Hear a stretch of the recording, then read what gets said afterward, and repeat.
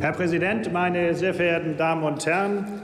Der Haushaltsplan für Verkehr und digitale Infrastruktur, das hat noch nie so viel Freude gemacht, den zu diskutieren. Wir haben schon ganz andere Zeiten gehabt, wo wir wirklich kürzen mussten, wo wir Wünsche, die wir uns selbst vorstellen konnten, zurückstellen mussten. Und das war dieses Mal ganz anders. Und dafür ein herzliches Dank dafür für den Entwurf und auch für die Arbeit der Haushälter in Zusammenarbeit mit den Verkehrspolitikern, was da jetzt bei rausgekommen ist.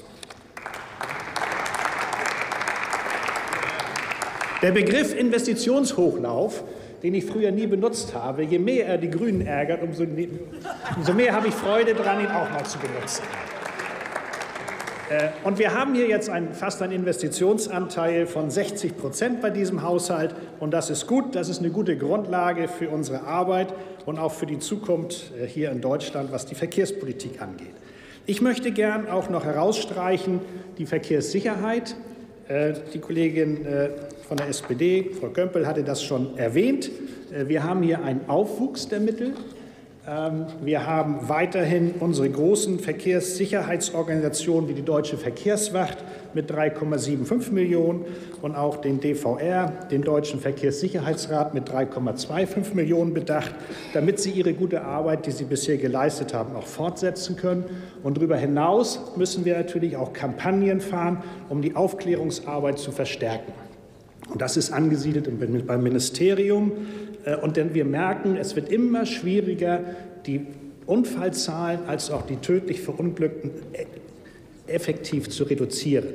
Denn äh, wir haben viele kleine Maßnahmen, sei es Tagfahrlicht, sei es Fahren mit 17, die etwas gebracht haben, aber es sind nicht mehr die großen Zahlen. Und deswegen wird es politisch auch immer schwieriger, Unterstützung für kleine Maßnahmen zu finden, weil es nicht so richtig messbar ist. Und wir haben ein Problem bei der Handynutzung, bei dem Abgelenktsein in Fahrzeugen. Da müssen wir was machen und wir müssen aufklären. Und es ist auch schwierig, es zu kontrollieren. Äh, das wissen wir auch. Deswegen ist das Geld 1,1 Millionen Euro mehr hier für diese intensive Aufklärungsarbeit gut entschieden worden. Meine Damen und Herren, ich möchte entsprechen auch noch etwas über etwas anderes.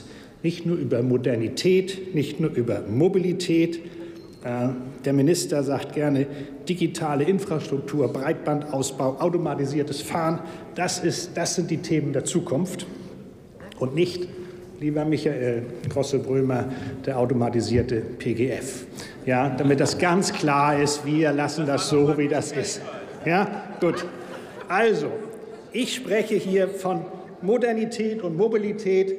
Das kann man auch mit einem ganz anderen Schlagwort verbinden, nämlich Radverkehr. Angesichts des immer weiter wachsenden Verkehrsaufkommens in unseren Ballungsräumen, und das sind die großen Ballungsräume in Deutschland, müssen wir hier neue Akzente setzen. Was nützt es, wenn wir mit dem Auto nicht mehr zur Arbeit kommen, wenn die ÖPNV-Systeme den Verkehr nicht mehr bewältigen können? Wir brauchen eine zusätzliche Mobilität, äh, die wir intelligent regeln müssen. Und die Kommunen sind noch nicht so weit, dass sie das mit vollem Herzen auch machen.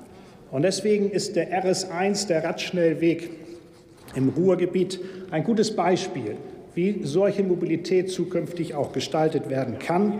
Äh, und das machen wir jetzt. Und ich bin dankbar, dass im Bundesverkehrswegeplan Minister Alexander Dobrindt Radschnellwege mit aufgenommen hat. Und das macht richtig Spaß, das jetzt zu fördern. Und endlich mal, endlich mal ein Thema, wo Sie mitmachen können. Und das machen wir auch. Machen wir auch. Machen wir alles. Das ist jetzt der, eine Richtungsentscheidung, Herr Kollege Kömpel. Und es nützt nichts. Sie sind immer dafür, für Elektromobilität. Sie sind für mehr Bahnverkehr. Aber wenn es konkret wird, dann sind Sie natürlich gegen Fehmarnbelt. Wenn ich also Elektromobilität auf der Schiene habe, dann sagen Sie, das muss nicht sein. Wenn der Norden zusammenwachsen soll, dann sagen Sie, da ist das nicht notwendig. Das stimmt nicht, was Sie uns hier immer erzählen wollen. Wie läuft es denn konkret? Wenn Sie heute auf der Autobahn fahren zur Arbeit, dann sind Sie auch nur fünf bis zehn Kilometer unterwegs. Das ist eher Nahverkehr als Fernverkehr. Und deswegen sagen wir natürlich von der Radverkehrspolitik, Radwege fünf bis 15 Kilometer mit E-Antrieb äh, unterstützt sind auch in dem Sinne gut zu nutzen. Und deswegen ist es ein gutes Ziel, dass der Bund sich an dieser Finanzierung beteiligt, damit wir in diesem Bereich vorankommen. Wir haben nicht sehr viel Zeit. Wir müssen da jetzt mit anfangen. In Kopenhagen haben Sie auch 40 Jahre gebraucht um Kopenhagen zur Fahrradstadt zu machen.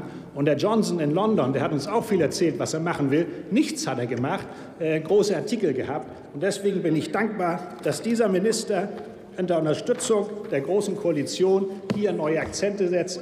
Ein guter Anfang und ich freue mich auf die weitere Debatte.